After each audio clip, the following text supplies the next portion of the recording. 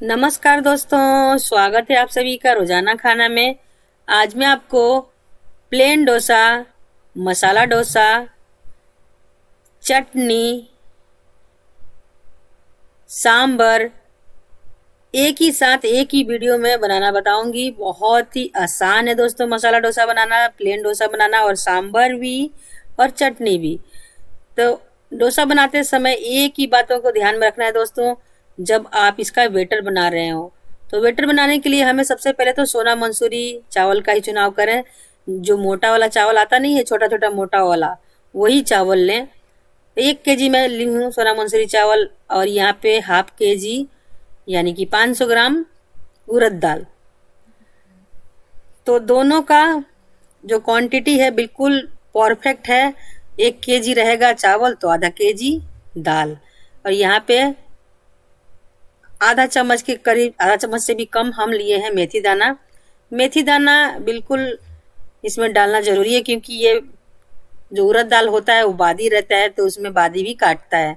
तो चावलों को आप अच्छा से पहले धो लें और दाल को भी अच्छा से धो लें, क्योंकि दाल में भी पॉलिश होता है। दोनों चीज़ों को धोने के बाद में आप इसमें पानी डालें भीगने के लिए। भीगने के लिए पानी दोस्तों कम से कम दो इंच ऊपर तक डालें, जब भी जाके अच्छा से आपका दाल चावल फूलेगा। बड़ा बर्तन का इस्तेमाल करें और यहीं पे हम मेथी दाना जो लिए थे हम, वो भी डाल देंगे। आप यहाँ पे एक कटोरी चना दाल भी ले सकते हैं। तो ढक्कन से ढक के इसे आठ से दस घंटा के लिए हम रख देंगे।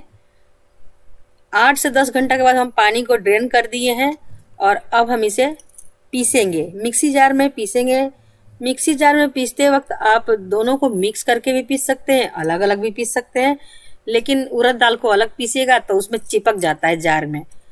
तो आप ध्यान रखें कि दोनों को मिला के पीसिएगा तो आपके लिए भी आसानी रहेगा। थोड़ा थोड़ा हम पानी डालते हुए इसे अच्छा से पीस लें, कम से कम एक टर्न में आपका आधा गिलास पानी लग जाएगा।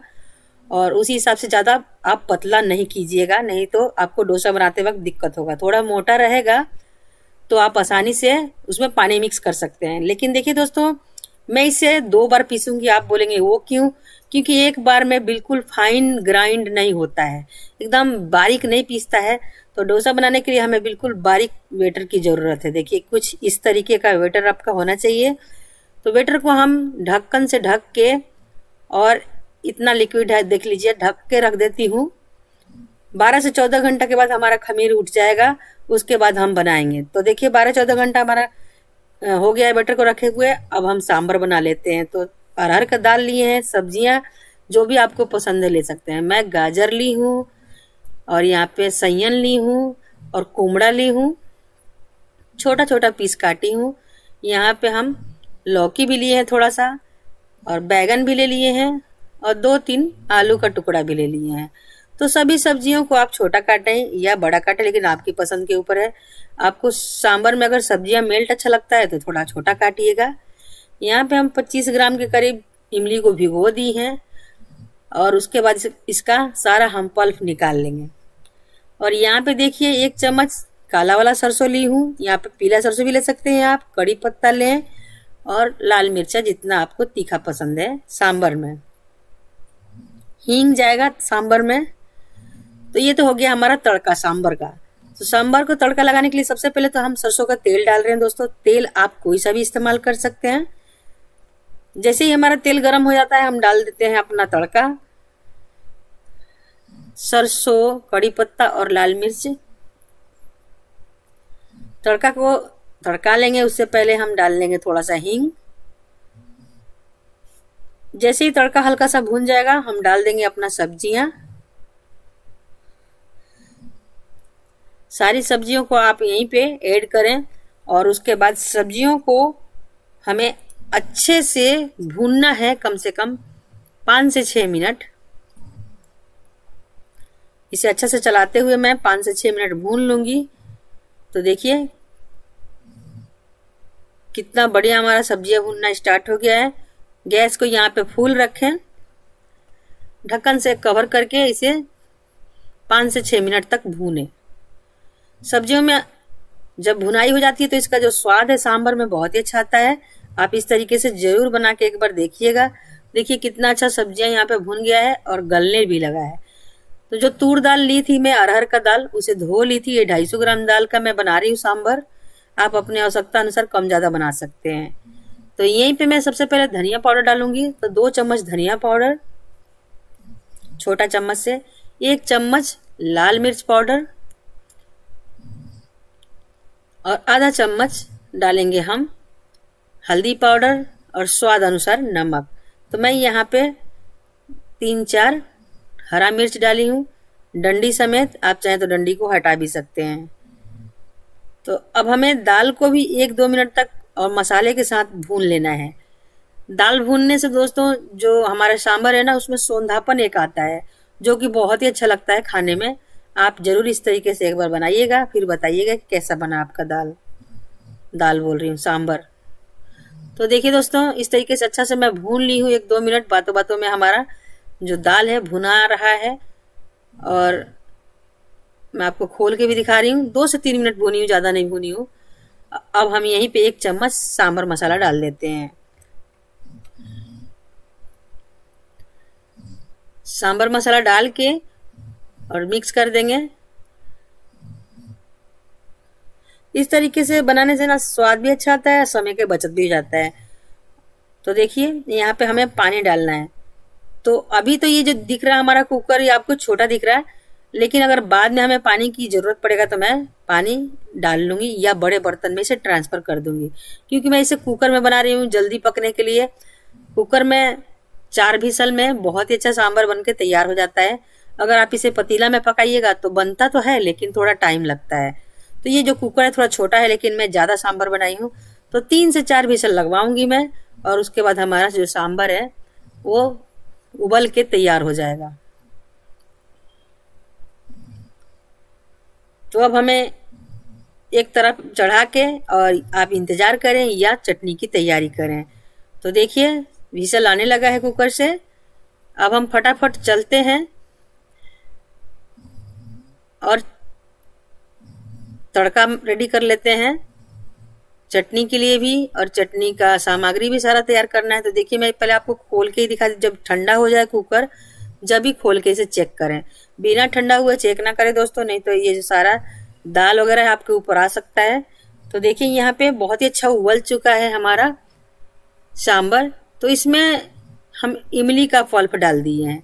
तो अभी ये गाढ़ा है, देख सकते हैं। अगर आपको पतला सांभर पसंद है तो थोड़ा गर्म पानी करके डाल लें। अगर नहीं पसंद है तो ना डाले गाढ़ा ही रहने दे। तड़का में लिए हैं, देखिए, दो तीन लाल मिर्चा, कड़ी पत्ता और सरसों दाना। तड़का पैन में डाल के इसे अच्छा से चटका लेंगे। ये देखिए, तड़का अच्छा से भून जाना चाहिए, जब जाके आपका सांबर में ना एक आता है, नहीं है खुशबूदार सांबर खाने में, वो टेस्टी लगता है। तो लीजिए दोस्तों, हमारा तड़का तैयार हो गया था, मैं डाल दी हूँ सांभर में। तो सांबर भी कंप्लीट हो गया है हमारा। अब चटनी का हम तैयारी कर चुके थे जितना देर में हमारा सांबर उबल रहा था। तो देखिए, यहाँ पे एक नारियल ली हूँ मैं। नारियल अगर मिल जाए तो अच्छा है, नहीं तो आप सिर्फ़ चना दाल और मूंगफली और उड़द दाल से भी बना सकते हैं चटनी। तो देखिए, हम नारियल लिए हैं, चना दाल लिए हैं, उड़द दाल लिए हैं और मूंगफली लिए ये सब एक एक कटोरी ली हूँ मैं। थोड़ा सा उड़द दाल कम ली हूँ और चार पाँच कलियाँ, लहसन का लिए हैं, चार पाँच हरा मिर्ची। तो उड़द दाल डालने से ना, नारियल की चटनी में एक अच्छा सा फ्लेवर आता है, मैं आपको बताऊँगी कैसे। तड़का देखिए, सरसों है, मिर्ची और एक कड़ी पत्ता, थोड़ा सा हींग भी डालूँगी मैं।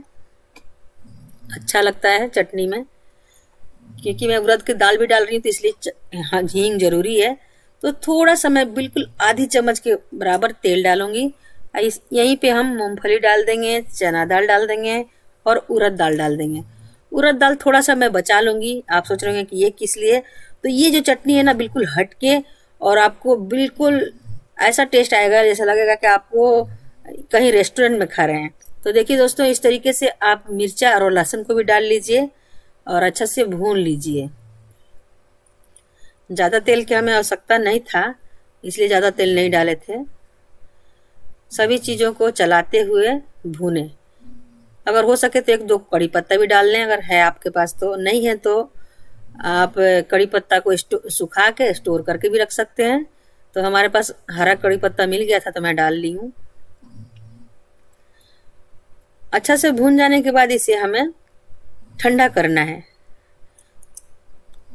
तो ठंडा होने के लिए मैं थोड़ा पानी डाल देती हूँ और छोड़ देती हूँ। किचन स्लेब पे ही ठंडा हो जाएगा, उसके बाद हम चटनी का आगे का प्रोसेस करेंगे। ये ठंडा भी हो जाता है और फूल भी जाता है। तो देखिए, डंठल को तो हम हटा दिए हैं, एक कर रह गया था, एक दो का। तो इस तरीके से हम पानी समेत ही डाल देंगे। जब ठंडा हो जाएगा तभी। बिना ठंडा हुए जार में मत डालिएगा दोस्तों, नहीं तो चटनी सारा उड़ जाएगा और आपका चटनी खाने को नहीं मिलेगा। तो देखिए दोस्तों, इस तरीके से थोड़ा पानी और डाल के, और अब इसे हम दरदरा या फाइन, आपको जैसा पसंद हो वैसा चटनी ग्राइंड कर सकते हैं। तो मैं ज़्यादा गाढ़ा भी नहीं रखी हूँ, ज़्यादा पतला भी नहीं रखी हूँ। तो यहाँ पे हम रिफाइंड ऑयल डाल के गर्म कर लिए हैं, और इसी में डाल देते हैं हम अपना मिर्चा, सरसों और कड़ी पत्ता। और ये जो हम रखे थे ना, उड़द दाल बचा के, ये भी डालना है, यहीं पे तड़का में ही। तड़का में इसको डाल के देखिएगा, उड़द दाल को बहुत ही ज़बरदस्त टेस्ट आएगा चटनी में। और आप इस तरीके से एक बार बना लिए चटनी तो बार बार ज़रूर बनाइएगा। क्योंकि इसका स्वाद ही गजब का है। तो देखिए दोस्तों, यहाँ पे ना हम तड़का डाल दिए हैं चटनी में, और आपको दिख रहा होगा कितना ज़बरदस्त चटनी दिख रही है ना। अब यहीं पे हमें स्वाद अनुसार नमक मिला लेना है, और लीजिए हमारा चटनी हो गया है तैयार। डोसे के साथ खाने के लिए। आप इसे इडली के साथ खाएँ, डोसे के साथ खाएँ सांबर बड़ा के साथ खाएँ या मेदू बड़ा के साथ खाएँ, सभी के साथ ये चटनी परफेक्ट है।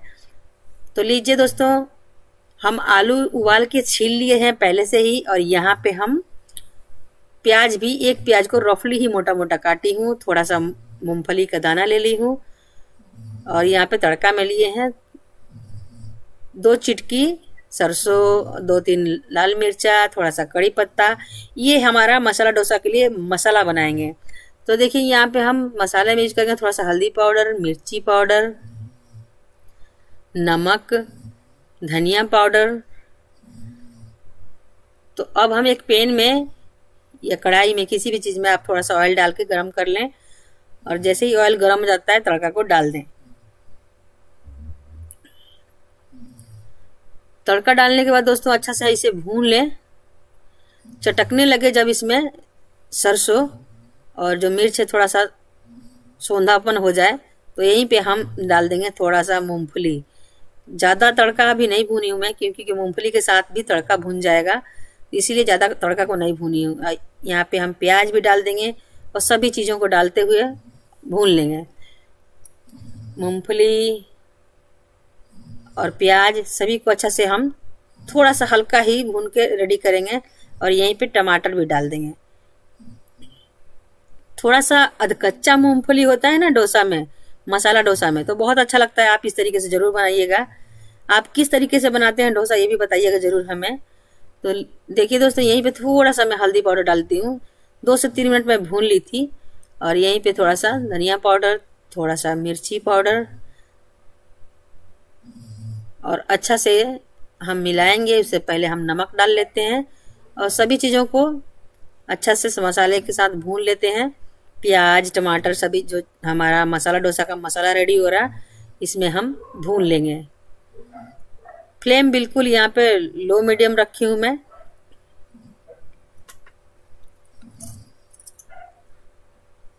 अब जैसे ही दो तीन मिनट हो जाए, भूनते हुए आपको यहाँ पे आलू को थोड़ा मोटा मोटा ही तोड़ना है। ज़्यादा बारीक नहीं तोड़िएगा दोस्तों, थोड़ा मोटा मोटा रहता है ना, हल्का मोटा, ज़्यादा नहीं अच्छा लगता है। तो अपना अपना पसंद है दोस्तों, आपको कैसा पसंद है ये बताइएगा हमें ज़रूर कमेंट बॉक्स में, क्योंकि हमें आप सभी का कमेंट का बेसब्री से इंतज़ार रहता है। तो अपना राय लिखना ना भूलें दोस्तों, कमेंट बॉक्स में। तो देखिए, हम आलूओं को तो तोड़ लिए हैं, थोड़ा सा हम इस तरीके से करछी से मैश करते हुए भून लेंगे, एकदम बिल्कुल सुनवा लेंगे। ये जो सांभर हम मैं बनाई थी ना, उसमें से मैं हाफ़ कटोरी ली हूँ। आप सोच रहे हैं ये क्यों? तो सांभर इसमें डालने से ना बहुत ही अच्छा मसाला डोसा का टेस्ट होता है। देखिए, यहाँ पे बारह घंटे के बाद हमारा बेटर में खमीर बहुत अच्छा उठ गया था, मैं आपको दिखाई, और इसे फेंट ली हूँ। और फेंटने के बाद इसमें हम एक चम्मच के करीब नमक ऐड करते हैं। तो देखिए दोस्तों, कितना बारीक मैं आपको दिखा देती हूँ। देखिए ये बिल्कुल बारीक है, इसमें कोई दरदरापन नहीं है। बिल्कुल स्मूथ देख सकते हैं कितना बढ़िया गिर रहा। तो अब आपको एक डोसा बना के चेक कर लीजिए कि इसमें हमें कितना पानी की आवश्यकता है। अगर आपको थोड़ा सा पानी की आवश्यकता है थोड़ा सा पानी मिलाएँ या आप ऐसे भी बना सकते हैं। तो देखिए, तवा पे हम पहले से ही ऑयल का ग्रीसिंग कर लिए हैं और पानी डाल के किचन कपड़ा से पोछ दिए हैं। और इस तरीके से हम करछी से बेटर को डालते हुए बेटर को फैला लेंगे। तो ये तव, जो तवा है हमारा इस पर मैं टिक्की भी बनाती हूँ कई बार मैं टिक्की भी बनाई हूँ और डोसा भी बना लेती हूँ दोनों चीज़ बना लेती हूँ। तो देखिए दोस्तों ये लोहे का ही तवा है कोई नॉन स्टिक नहीं है। आप लोहे के तवा पे भी बना सकते हैं डोसा आराम से। तो बस इसे सावधानी से फैला दें और डोसा को जब फैलाते वक्त आप ध्यान रखें कि मीडियम आँच हो। जब डोसा सूख जाए, उसके बाद ही ऑयल डालें। शुरू में तवा का टेम्परेचर ज़्यादा ना रखें, नहीं तो डोसा चिपकेगा नहीं और वो क्रिस्पी नहीं होगा। तो जैसे ही गर्म हो जाता है, उस पर आप तेल के छिटे मार के, जैसे मैं की थी, वैसी कीजिएगा और पानी मार के। और जब ये क्रिस्पी हो जाए अच्छा से तो पीछे से आप मोड़ दीजिए। तो पहला डोसा दोस्तों, थोड़ा सा अच्छा नहीं बनता है, दूसरा बनेगा तो और अच्छा बनेगा। तो इसी तरीके से हम जितने बार बनाएँगे, उतने बार तवा में हल्का ऑयल लगाएँगे और पानी से छीटा मार के पोछ के और फिर दोबारा डोसा बनाते जाएँगे। बहुत ही आसान है दोस्तों, मज़ा आएगा आपको डोसा बनाते वक्त। तो पहले तो मेरे से भी डोसा ना मोटा ही बनता था, लेकिन मैं बनाते रही बनाते रही, मेरे से भी पतला बने लगा। तो मेरा डोसा बहुत ही आप लोगों को पसंद भी आया है और सबसे पॉपुलर वीडियो तो मेरा शायद डोसा ही है, आप देख सकते हैं। लेकिन उस टाइम मैं मोटा बनाई थी, लेकिन आप लोगों का कहने के अनुसार से अब मैं डोसा बनाना थोड़ा जान गई हूँ दोस्तों, और बहुत ही अच्छा नहीं बोल सकती, लेकिन बना लेती हूँ। तो कैसा हमारा डोसा बना है, बताइएगा ज़रूर। आप अगर गैस पे हो सके तो तवा को घुमा घुमा के इस तरह से क्रिस्पी करें, और मसाला को लगा लें। तो मैं कपड़े के हेल्प से तवा को ही घुमा घुमा के क्रिस्पी की थी। और देखिए, इस तरीके से मैं डोसा बना के अपने बच्चों को, अपने फैमिली को, अपने गेस्ट को सर्व कर देती हूँ। उन्हें बहुत पसंद आता है दोस्तों, आप बताइएगा कि मैं डोसा जो बनाई, कैसा बना? और आप बनाए तो कैसा बना? तो देखिए, ये मसाला डोसा भी बनकर तैयार हो गया है। और बहुत ही क्रिस्पी बना है। अब मैं आपको सर्व करके दिखा देती हूँ। तो देखिए, मैं चटनी सांबर और शेजवान की चटनी भी मैं बना के पहले से रखी थी। उसके साथ सर्व की हूँ। बहुत ही क्रिस्पी डोसा बना है दोस्तों, आप ज़रूर इस तरीके से बनाइएगा। वीडियो कैसा लगा बताइएगा कमेंट बॉक्स में। तो फिर मिलती हूँ दोस्तों एक नई वीडियो में अपना कीमती समय देने के लिए। बहुत बहुत दिल से धन्यवाद।